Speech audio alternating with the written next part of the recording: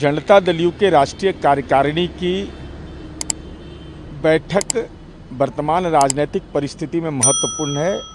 उसकी कार्यसूची तो राष्ट्रीय पदाधिकारी तय करेंगे, लेकिन इतना महत्वपूर्ण बैठक ज़रूर है कि जो इंडी गठबंधन के घटक दल थे, खास करके राष्ट्रीय जनता दल के तेजस्वी यादव यह दावा कर रहे थे कि जनता दल यू का वजूद खत्म हो जाएगा।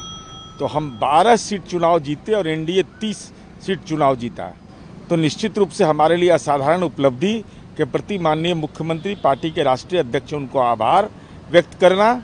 साथ ही साथ जो 2025 की जो हमारी चुनावी रणनीति होगी, विधानसभा का, उन तमाम बिंदुओं पर चर्चा करके और पार्टी का सरकार में शामिल होना, ये ऐसे एक महत्वपूर्ण कारक हैं जो माननीय मुख्यमंत्री जी पर कार्यकर्ताओं का भरोसा और दिल उनका जीता, जीतने का प्रमाण है।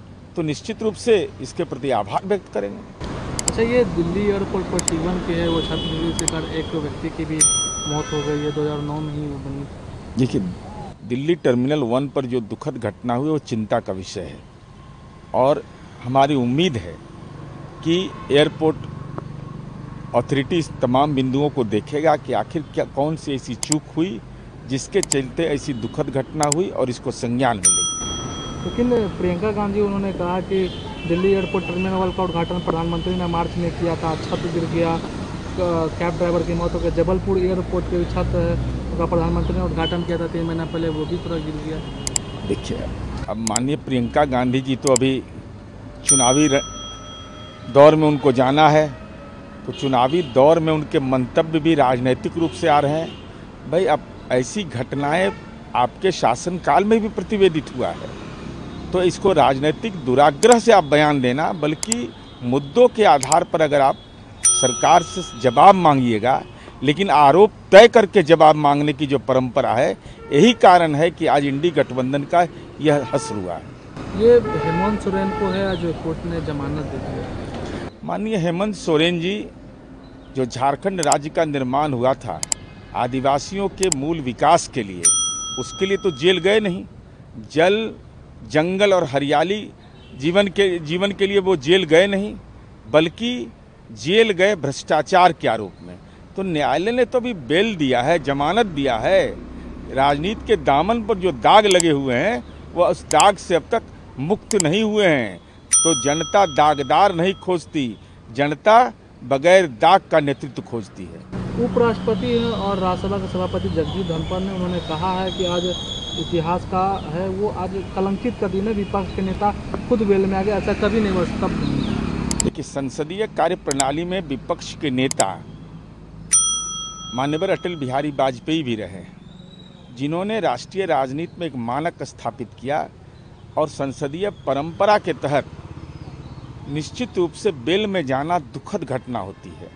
और ऐसा कृत्य अगर विपक्ष के नेता के द्वारा हो रहा है तो माननीय सभापति का नियमन इस देश के इतिहास का अवलोकन है और भविष्य के जो विपक्ष का रवैया है उसको आगाज़ भी करता है। अच्छा जिस तरीके से कर्नाटक के सीएम सिद्धारमैया उन्होंने कहा कि भारत हिंदू राष्ट्र नहीं बन सकता हम पहले ही से कर रहे हैं इसको लेकर। भाई ये ये बयान लगातार भाई इस बात के लिए सफ़ाई क्यों देनी पड़ रही है? कौन आरोप कह रहा है कि, कि धर्म आधारित यह देश हो जाएगा? और इस देश का संविधान डॉक्टर भीमराव अंबेडकर की बुनियाद पर है और संविधान की जो प्रस्तावना है, तमाम धर्म के लोग, तमाम समुदाय के लोग, वही देश की मूल पूंजी है विविधता में एकता।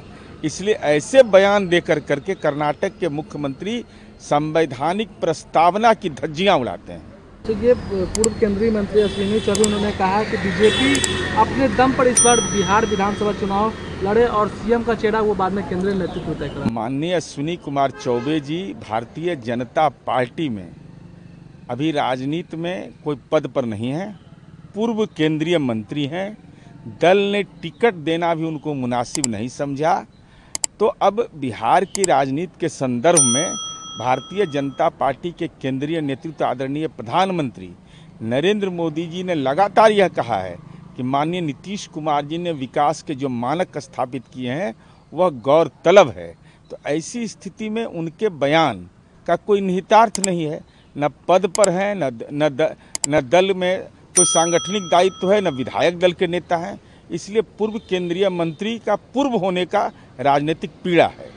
ये प्रधानमंत्री कल उन्होंने मुख्यमंत्री नीतीश कुमार की तारीफ़ की और कहा कि नीतीश के नेतृत्व में है, वो बिहार है ना विकास की राह पर चल रहा है। ये ये तो सर्वविदित है ना, चाहे योजना आयोग हो अथवा नीति आयोग हो, तमाम मापदंडों पर बिहार जैसे पिछड़े राज्य, जहाँ कहा जाता था कि आलू, लालू और बालू है, आज वहाँ सड़क, बिजली और स्वास्थ्य की चर्चा हो रही है।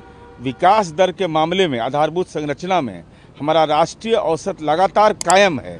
तो निश्चित रूप से आज बिहार के अंदर जो परिवर्तन हुआ है और जैसे पिछड़े राज्यों के विकास का मानक जो हमने स्थापित किया है, वह जब 28 जिला मेरा बाढ़ और सुखाड़ से प्रभावित है, जलवायु परिवर्तन से हम जूझते हैं, उसके बावजूद हमने विकास की दिशा तय की है तो आदरणीय प्रधानमंत्री जी ने सच को कबूल किया। इसके लिए आभार और धन्यवाद।